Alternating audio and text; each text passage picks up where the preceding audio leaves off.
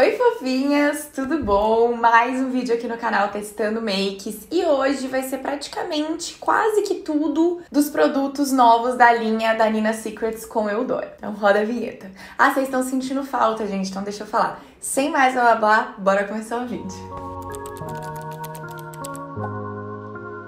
Eu parei de falar o sem mais blá blá blá, bora começar o vídeo, porque eu falo roda a vinheta e aí teve gente dando até bronca em mim. Falando, Bianca, pelo amor de Deus, cadê o sem mais blá blá blá, bora começar o vídeo que eu tô falando sozinha aqui do outro lado da câmera e você não está repetindo. Então, quando vocês mandam, eu faço o quê? Obedeço. Então, hoje a gente vai testar basicamente todos os novos produtos da linha da Nina Secrets. Eu fiz parte da campanha de divulgação, então tem vídeo lá no meu Instagram muito lindo que eu e a Grazi fizemos, assim, tá maravilhoso. Mostrei nos stories também para vocês, mas eu quis mostrar aqui no YouTube porque eu sei que tem gente que me segue aqui e não me segue no Instagram. Muita gente, que aqui é um milhão, lá são 370 e poucos, só caindo, porque o Instagram é ótimo, ah, maravilha. Então eu decidi trazer aqui para vocês, para quem me segue aqui, não tem Instagram, enfim, aqui eu consigo dar mais detalhes sobre os produtos, falar mais, porque lá, né, eu tenho que calar um pouco a boquinha para não ficar, o quê? Um vídeo de 25 minutos no feed. Só que a gente tem aqui primeiro um produto que não é da Nina, que eu trouxe para testar com vocês junto com esse vídeo. Por isso até que eu tô sem base, porque os produtos da Nina não tem base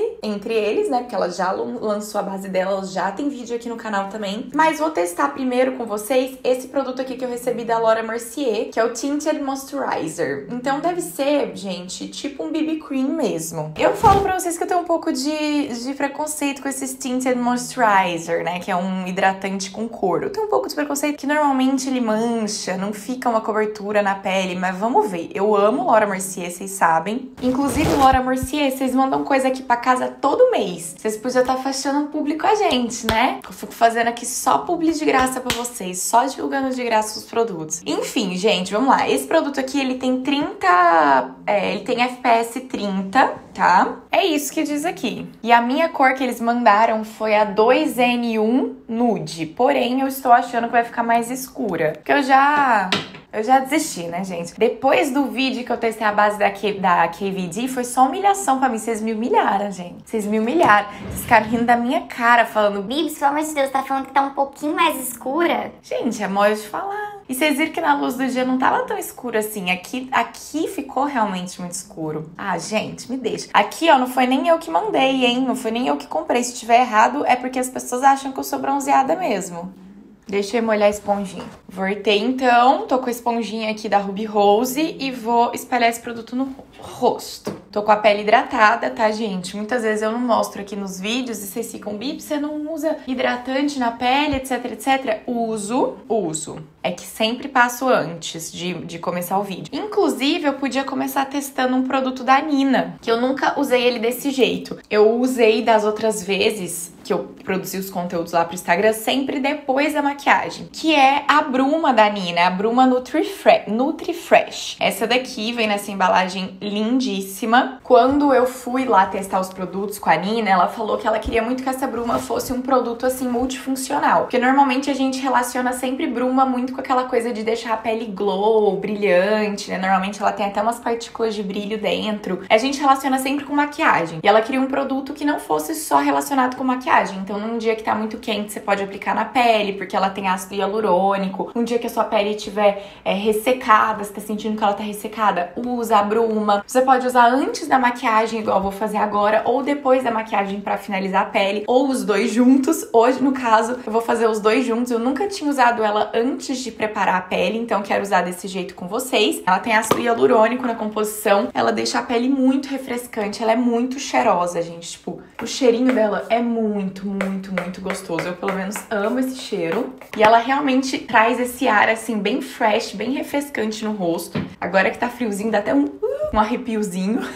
então, vou passar hoje antes da make também pra hidratar mais a pele, deixar a pele com mais glow, mais viço. Mas ela não tem partícula de brilho, tá, gente? É diferente dessa bruma aqui, por exemplo, ó, da Ana Paula Marçal, que se você sacode, ela tem essas partículas de brilho dentro. Ela é para dar realmente esse brilho. A Danina não tem essa partícula e ela traz um brilho natural, assim, uma hidratação para a pele, um viço, mas não é um brilho, tá? Eu lembro que eu até falei isso pra ela que eu gostava muito de bruma que tinha esse brilho, porque dava aquele glow final na pele, mas ela falou, essa daí vai dar o glow também, mas não um brilho, são coisas diferentes. E realmente, olha como a pele tipo fica fica viva, você só aplica ela e a pele agradece. Lá no teste a gente foi sem maquiagem nenhuma e a gente aplicou essa bruma no rosto e a gente já viu a diferença que dá sem maquiagem, ó, a pele já fica bonita, sabe? Se você quiser usar sem nada mesmo no rosto dá super pra usar. Bom, então agora sim a gente vai pro, pro BB Cream, enfim, pra esse hidratante com cor da Laura Mercier. Nossa, gente, tô com molheira, hein? Vou aplicar, assim,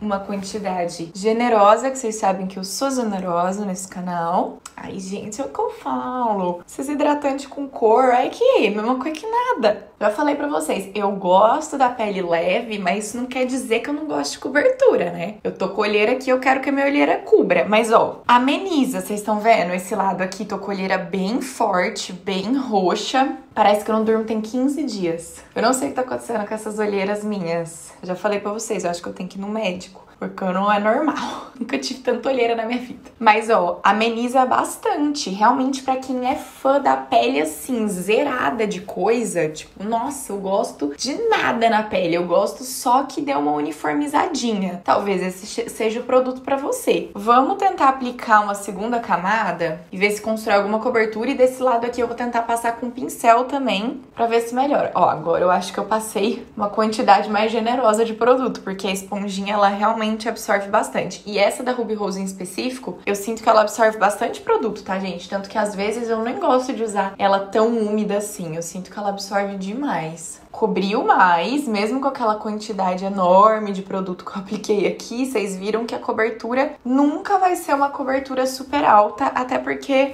acredito que não seja a intenção do produto. Ele é realmente um hidratante com cor. Então é para hidratar a sua pele e dar um pouquinho de uniformizada, que realmente acontece, ó de um lado para o outro, existe uma diferença. Só que assim, isso é para você, acho que esse produto funciona muito para alguém que tem a pele perfeita, né, minha gente, assim, não esteja com uma espinha, um cravinho, a minha pele hoje, por exemplo, ela tá boa, mas ela é de dias, né? Então, num dia que ela tiver meio caótica assim, que eu quiser uma cobertura mais pesada, não rola. Mas eu imagino muito usando esse produto aqui, tipo no, na praia, porque ele tem proteção solar também. Não tô sentindo ele pegajoso na pele, mesmo sendo um eu não tô sentindo ele pegajoso, é como se eu tivesse passado assim um hidratantezinho bem levinho no meu rosto, sabe aqueles hidratantes em formato de gel, que tá hidratada a pele, mas não tá pegajosa? Então eu imagino usando tipo numa praia mesmo, realmente para dar uma coberturinha na pele, mas que assim, ninguém perceba que você tá usando nada, porque é realmente assim, gente, imperceptível. A pele absorve completamente, parece que você está sem nada vezes nada. Vou aplicar desse outro lado aqui com o pincel para ver se a cobertura muda ou se continua igual.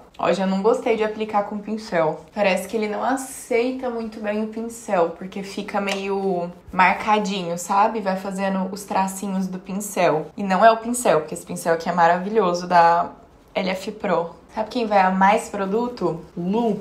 Lu, minha amiga, você vai amar. É exatamente o tipo de cobertura que ela gosta, assim, uma cobertura nada, bem fresh. Ó, minha gente, esse lado aqui que eu passei com o pincel, achei que eu, ele, assim, no começo achei que não ia funcionar, mas depois eu achei que a cobertura com o, com o pincel ficou um pouco mais alta do que a cobertura com o, a esponjinha, que aqui minha olheira, ó, tá bem mais aparente. Me digam aqui o que vocês acharam. Mas eu gostei, gente. Por incrível que pareça, mesmo sendo essa coisa encanada que vocês estão vendo aqui, eu achei que ficou bem bonito na pele. Eu achei que uniformizou a pele, cobriu um pouquinho as manchinhas, etc. Mas com a aparência de estar tá sem nada no rosto, assim. Então, aqueles dias que você quer realmente algo muito natural, é muito bonito. Parece aqueles, aquelas maquiagens de capa de revista que você vê os maquiadores passando assim, ó. Trim, trim, trim, sabe? Com dual fiber que você fala, vou fazer isso em casa. Você vai drin, drin, drin, toca até a flautinha no fundo.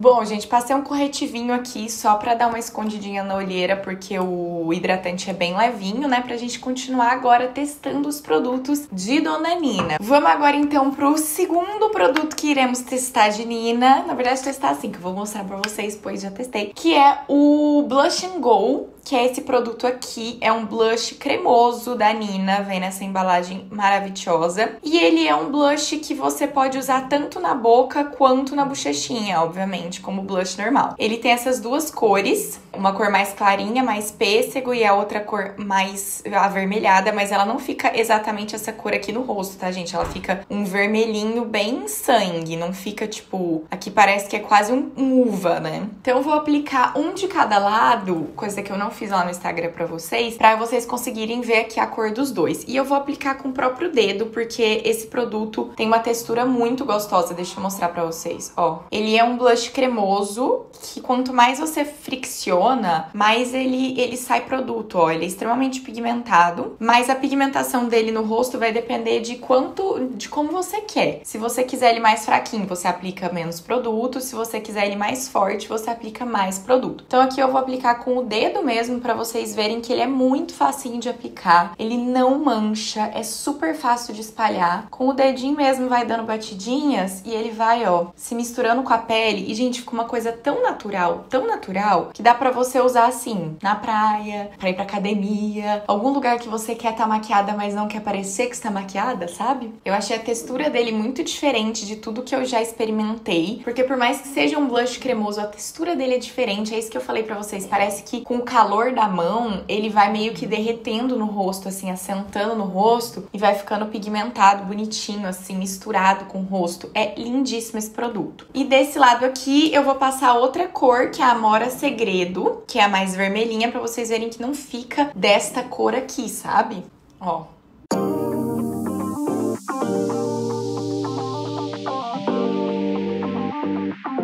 Aqui no caso eu acho que eu peguei até produto demais, não precisava desse tanto. Mas você vai espalhando e ele vai ficando mais natural, não precisa de desespero. Depois, se você achar também que aplicou muito, é só vir com a esponjinha dando batidinha que ele já fica mais espalhadinho na pele. Mas ó, Tá vendo, gente? Você vai dando batidinha, vai espalhando, ele vai meio que misturando com a pele. É essa sensação que eu tenho. E tá vendo que a diferença dos dois é uma coisa bem natural. Aqui é um tonzinho um pouco mais puxado pro pêssego, esse é mais vermelhinho, mas ao mesmo tempo os dois são tonzinhos bem naturais, assim. Esse aqui não chega a ser um vermelhão de lip tint, sabe? Quando você passa e fica aquela coisa do lip tint, assim, meu Deus, essa pessoa apanhou na face, queimadura de terceiro grau. Não fica esse look queimadura. Fica um look assim ai, dei uma corridinha no parque e fiquei com essa esse viço na pele. E aí você pode aplicar com um pincelzinho também, com a esponjinha, do jeito que você quiser. Eu quis é, mostrar pra vocês que dá pra espalhar com o dedinho, que é muito fácil. Eu vou aplicar um pouquinho aqui no nariz, pra fazer aquela carinha de queimadinho, que combina com essa make Nara. Você pode usar esse produto nos lábios também. Eu gosto bastante de usar esse aqui nos lábios, porque fica mais vermelhinho do que o pêssego secreto, que é esse daqui. Esse aqui fica mais vermelhinho no lábio, então eu gosto. E no lábio, do mesmo jeito, gente. Dá pra aplicar só no centrinho do lábio, fazer aquele lábiozinho mais vermelhinho no centro. Dá pra aplicar no lábio inteiro. Dá pra deixar bem pigmentado se você realmente concentrar. É do jeito que você quiser. Eu achei, assim, um produto extremamente prático. Você leva na bolsa pra uma viagem, pra um, na, dentro da necessaire, passou na bochechinha, passou no lábio, já deu uma cara de acordada, entendeu? Já deu um up no visu. Ó, tá vendo como ficou uma coisa muito naturalzinha? Gente. Eu amo. Olha isso. Olha que carinha. Carinha de o quê? De juventude, essa pessoa que já está pisando nos 30. Carinha de juventude, parecendo que tem 15 no colégio. Quer dizer, vamos aumentar um pouquinho pra faculdade, que no colégio eu não ia maquiada, não. Tá, agora vamos passar então pro próximo produto, que este sim eu estava ansiosíssima para conseguir ter em minhas mãos, que são os iluminadores da Nina. Quando a gente foi experimentar lá, os iluminadores tinham várias cores pra gente testar, e essas aqui foram as nossas favoritas. A textura deles também é muito diferente. Vou mostrar pra vocês. É uma textura, tá vendo? As duas cores. A textura dele, gente, me lembra muito o meu blush da Dior. Não sei se vocês sabem qual que eu tô falando, que tem uma embalagenzinha prata. Ele tem aquela textura. Oh, meu Deus, eu esqueci completamente a palavra, gente. Que quando você passa no rosto, fica só um reflexo. Ele não fica, tipo, partículas de brilho. Ele realmente forma só um reflexo na pele. Eu acho lindíssimo esse tipo de iluminador. E esse aqui é o Rose, ou Rosé. Eu não sei exatamente como fala. E esse é o Gold. O Gold, ele fica muito gold pra mim. Mas acredito que a Nina tenha pensado em atingir todos os tipos de pele das brasileiras, né? Desde as mais clarinhas até as peles mais escuras. Então esse, esse dourado em pele negra deve ficar muito, muito lindo. Mas em mim ele fica bem dourado, sabe? Parecendo que eu passei uma sombra. Então lá no Instagram, por exemplo, eu usei ele no olho. Eu vou fazer um swatch aqui na mão para vocês verem como ele fica. Mas vou usar o, o rosé, o rose, no rosto com vocês. E aí, ó, deixa eu mostrar a, a textura que eu, que eu tô falando para vocês. Tá vendo que ele não esfarela? Ele é bem, bem compacto, assim. Ai, gente, eu esqueci completamente o nome disso. Ó, tá vendo que é um brilho um reflexo, não é literalmente um brilho, e na pele fica espelhado. Isso é essa palavra que eu queria que eu queria encontrar na minha cabeça. Ele tem um efeito espelhado no rosto. Ele não fica com um efeito de iluminador pá. É um espelho praticamente, vocês vão ver. Lá no Instagram eu fiz tudo com a mão, inclusive, gente. Nem apliquei com pincel e funcionou super aplicar com a mão. E eu acho que esse tipo de iluminador é muito a cara da Nina. Ela tá sempre com uma pele assim, com esse iluminado espelhado. Eu acho que os produtos da linha da Nina sempre tem muito a cara dela e eu valorizo demais isso. Sempre falo aqui para vocês. A Nina foi muito na contramão do que se esperava, né, quando ela lançou a base dela, que todo mundo esperava uma base com cobertura super alta, efeito mate, que normalmente é o que a maior parte das brasileiras gostam. Ela foi na contramão disso, lançou uma base hidratante com efeito glow, cobertura média. Então, assim, ela fez realmente o que ela usa. Então, eu acho que isso é extremamente importante e eu vejo isso em todos os produtos da linha dela. Esse iluminador, esse iluminador, gente, esse efeito, eu vejo literalmente a Nina é nessa pele aqui, sabe? Uma pele fresh, uma pele levinha, um blushzinho rosado,